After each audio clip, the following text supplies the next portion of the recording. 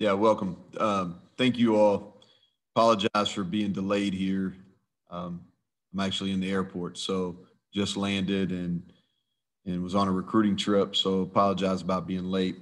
Um, our staff and our players are are extremely excited about the opportunity to to play Minnesota in the Guaranteed Rate Bowl um, in, in Phoenix. You know, what better place to be in the month of December than Phoenix, Arizona? So uh, we're looking forward to, to spending a few days in the desert. And it's uh, I want to thank the the Guaranteed Rate Bowl committee and really the entire Fiesta Bowl organization. Um, it's known throughout college football for premier events, and so I, I know our staff, speak for our staff, our athletic department, and, and our players. Um, we're fired up about being there, and so uh, a lot of respect for the Minnesota football program and what Coach Fleck has done there. Um, I got on and listened to his, you know, last few comments that he had there, and um, really got to know PJ through uh, through Kirk Ciarrocca, who, who's been here, has been a part of our program here for the last several months. Um, and what PJ's done, not only in Minnesota, but what he did at at, um, at Western Michigan is special. Um, a lot of energy. Does a, he's a great motivator, a great teacher. Um, he's a program builder, and he and he's and he's a relator. And he's done a he's done a tremendous job at, at both those at both those universities as a head coach, and he's done it in a lot of different ways. And if you look at this team, um, seeing them a little bit on crossover, watching them because of the respect I have for him, their defense is playing as good as anybody in the country. Um, and their offensive line is special. It's a veteran group. Um, regardless of who's played running back, I know they've had some unfortunate injuries there, um, but they've ran the ball on everybody they've played. And then Tanner Morgan, unique situation. Tanner's from Eastern Kentucky, and uh, and, and, knew him and his late father very well. He actually came to our youth camp when I was the offense coordinator at Kentucky. So really proud of what he's been able to do um, during his career and always kept an eye on him um, because we are from the same state. So um, rather not play against him in a bowl game, but uh, but I've been pulling for him and, and a lot of respect for him. And so uh, with that, I'll I'll open it up for questions. Thank you, Coach, and thank you for joining us. So, media, as you uh, ask your questions of Coach Brown, please remember to hit the reactions button on the bottom. Uh, raise your hand, get you, we'll get you in the queue, and then we'll uh, we'll tee it all up. So first up, we'll go with Matt Digby from WOAY TV. Matt.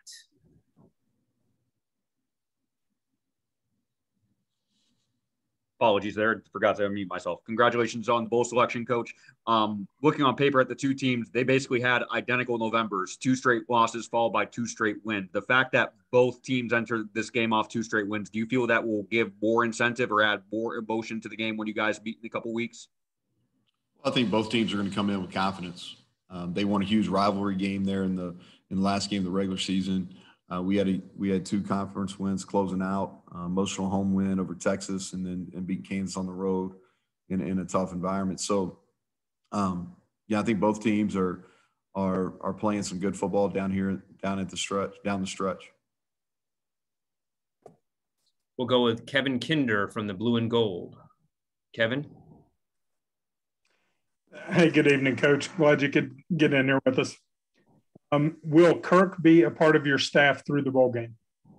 It's a good question. It's a unique situation. So we're going to kind of work through that. This is um, maybe a first um, in my career.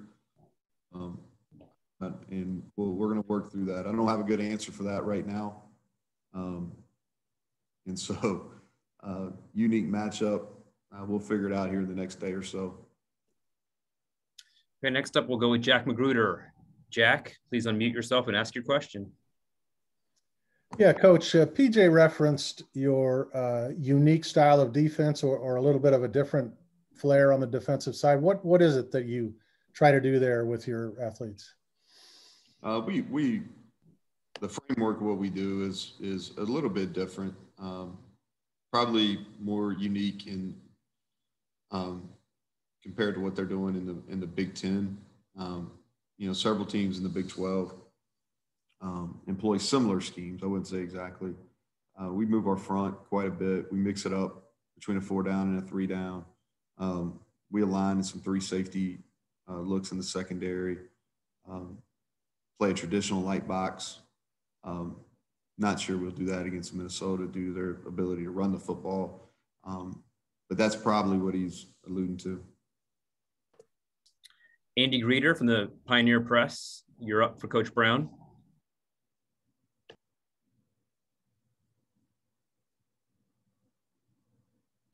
Hey, Coach Brown, thanks for taking the time. I appreciate it.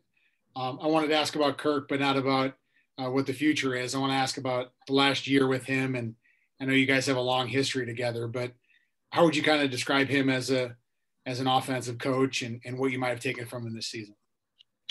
Well, so Kirk Kirk and I's relationship go back uh, a good ways. He actually recruited me uh, when he was a college coach, and then um, I was a receiver coach for him at the University of Delaware for a year when I was kind of just getting started in my career, and um, kind of been a mentor and a friend uh, really throughout my coaching career. And, and, we visited a lot over the years. Offensively, our philosophies are very similar, um, and he's been he's he's been a great help here, um, not only for for myself, but I think for really uh, our entire staff. You know, he's he's helped our, our offensive staff grow I think he's had great insight for our defensive staff. Um, you know, he can't coach on the field, but our players, you know, I think it's been a fun experience for him. You'd have to ask him, but I think it's been something that that he's enjoyed. It came at a good point in his career. Uh, so we've been fortunate to to have him. And I, and I think if you're talking about a, a system, you know, the, the the best thing I can use is is he's efficient. You know, if you look throughout his career, he's been extremely efficient. I think he's he's been able to find unique ways to run the football at every stop, regardless of what his personnel or who his personnel is. Um, and so he's efficient, and and and that's when you're talking about as an offensive coach. I think that's I think that's what we're all hunting, and he's done it better than most. Thank you, Coach. Next up is Greg Hunter from the Blue and Gold News. So, Neal, any idea yet on what players will be available, whether opt outs or injuries? Greg's unique time. Did, did you ask that question when you covered your first bowl game? Uh, no, I would never have thought of it. of course, they were wearing leather helmets, so who knows? Hey, so I don't, I really don't have any insight. Uh, we, we gave our guys off um, after the Kansas game, Sunday, Monday, Tuesday. We lifted weights Wednesday and Thursday, gave them off Friday. We had a practice yesterday. And so uh, that'll come into focus this week. Uh, we've got our last week of classes. Finals is next week. Um, we've had a few kids enter the portal. They obviously won't participate in the bowl game. Um, as far as far as injuries, um, probably do that the next time we talk. Uh, I'll have a better idea. Um, in, in and out of Morgantown for the last week for recruiting. And so talk more about that the next next press conference we, we have just because I'll have a better idea and have more of a firm answer for who's going to participate. As far as opt-outs, um, not sure yet. Um, you know, that's something that, that, that everybody's having to deal with. I'm sure that that PJ will have to deal with answering some questions as far as that goes as well. And but what our philosophy is on that is we're going to take the group that's that's prepared to play, that is motivated to play, and we're going to give our guys the very best opportunity to win. All right, Coach Joe Bricado, you're up next, Joe. And you know, obviously, a much different bowl experience this year to last year, where it was just treated just as a road game. What's the value of particularly for the younger guys to see an entire trip to get a couple days of on-site practices and, and everything that goes with it? Your bowl games are rewards to me. And this has been an up and down year for us. I think it's been challenging at times. Um, you know I, I think if i if i polled our people and said hey we're going to beat texas we're going to beat virginia tech we're going to beat iowa state i think our our initial reaction to our fan base was man we're going to have a really good year um, and while we did win those games we faltered in a couple, particularly before the bye week, um, where we didn't play our best football. So it's been a challenge. I'm proud of how our kids responded. Um, I thought I felt like they handled adversity. Um, there were several times when I think uh, people counted us out, and we were able to get off the mat and, and get to a bowl eligibility. And these games are rewards, and we're going to treat them as that. Um, you know, not only when we're out in Arizona, but we're here in Morgantown during bowl prep. Um, we're gonna we're gonna do everything we possibly can to make this a great experience. Um, and so the fact that we get to go to Arizona and the the city of Phoenix is one of you know in the, the really the greater Phoenix area is one of my favorite places. Um, the, obviously the climate. Um, we're going to stay at a world class resort, which will be a neat experience for our guys. Uh, we're going to play in a in a professional um, uh, uh, stadium, which is something unique for our players. Um, they're going to get time to spend with their with with their teammates, um, doing doing things locally that that they haven't experienced. So, I think this will be outside maybe a handful of our players. This will be their first real bowl experience. So I think that's something that that they've earned and, and something we'll make sure that that that they enjoy.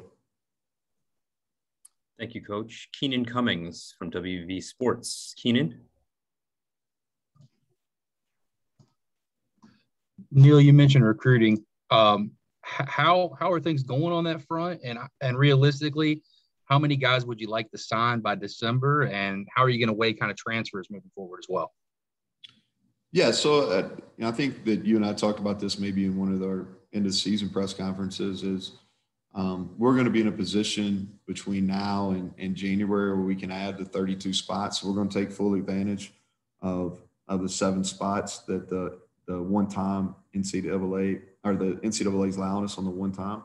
So we're going to take full advantage of that. Um, in the December signing date, we hope to sign um, in the in the 20ish range. You know, I don't want to give you an exact number. Um, I like our progress on the recruiting front. Um, you know, I really do. I think that um, a lot of those were guys that visited in the summer, and now we're getting. They came to us in the summer on official visits, and now um, I'm taking advantage of the one-time opportunity to go out and see them on their turf, you know, doing home visits and school visits and those type of things. Um, and it's a really reduced window. So basically, have that Sunday after the Kansas game all the way um, this a week from today to get that done. And so seeing those guys that are committed, and then also our top prospects. We hosted three prospects this weekend. Uh, as soon as I get done, I'm gonna have a have dinner with a recruit tonight. Uh, that's that's on campus. So um, whenever y'all get done, the sooner the better for me. and uh, and so I'm to do that, and then I'll be back on the road in the morning, and then we'll host another handful of prospects next weekend. And so, like the progress we're making, I feel really good about it. We've got we've got to add some key pieces on the defensive line. That's the that's the one spot that we've got to really good pool of prospects that we're that we're chasing, but we've got to get some of those in the boat in the spirit of getting you out of here, Coach, we'll finish up with Ryan Pritt of the Charleston Gazette Mail. Ryan. Thank you. Yeah, Neal. I mean, hell, you could have told me that before. I wouldn't have raised my hand, you know. no, no, you're good. You're good. All right. No, uh, you you called Minnesota one of the better defenses in the country, and um, you know, having played some good ones this year, particularly Oklahoma State, Baylor, um, and I know you have some scouting left to do, but you know how, how do they compare to those? What what makes them different as far as you know and does and does playing defenses like the ones you've played help you in a situation like that?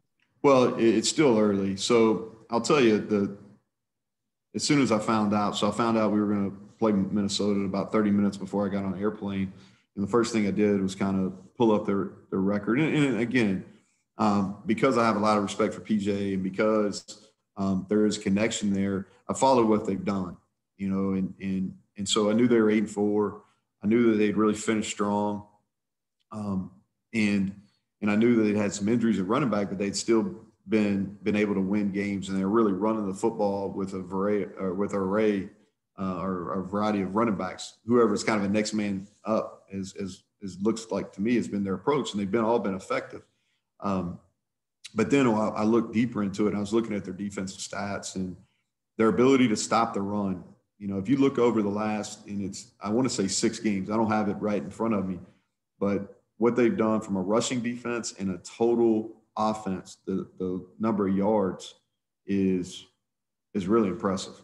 Um, and so we have, you know, we've played several really good defenses in, in, in our league. You know, I think the misconception, and, and this is really for the Minnesota media more than ours, the misconception is in the, is the Big 12 there's not defense. But that's in the last three years, that's really not been the case. You know, Oklahoma State has been as good as any defense in the country. Baylor um, has, has played at an extremely high level. Um, and we can go on from there, but those are the two um, that played in our championship game, and they're there because they could run the football and they played great defense. And so I think Minnesota is very similar to those two programs, and they're able to stop the run. And uh, and so, other than getting a quick kind of a scouting report from from one of our graduate assistants that I trust, um, I'll hold I'll hold other comments till till I get the chance to watch them more. Coach Brown, thank you for your time. I know it's busy for you this time of year and as you look forward to the recruiting period, but we're excited it's bowl season and, and we look forward to having you here in a few short weeks here in Arizona and then in downtown Phoenix on the 28th of December for an 8:15 p.m. local kick. That's 10:15 for those of you at West Virginia. Yes, we understand that, uh, but it'll be great, some great prime time football. So thank you, Coach. Appreciate it. I'm well, I appreciate it, and I can guarantee you one thing: the Mountaineers will stay up. They'll be having a good time at, at 10:15 and and and we got no problem in West Virginia pushing pushing it late night. And so our guys are excited. I appreciate the invite, and, and we look forward to getting there and, and representing West Virginia University in, in our football program. Thank you all.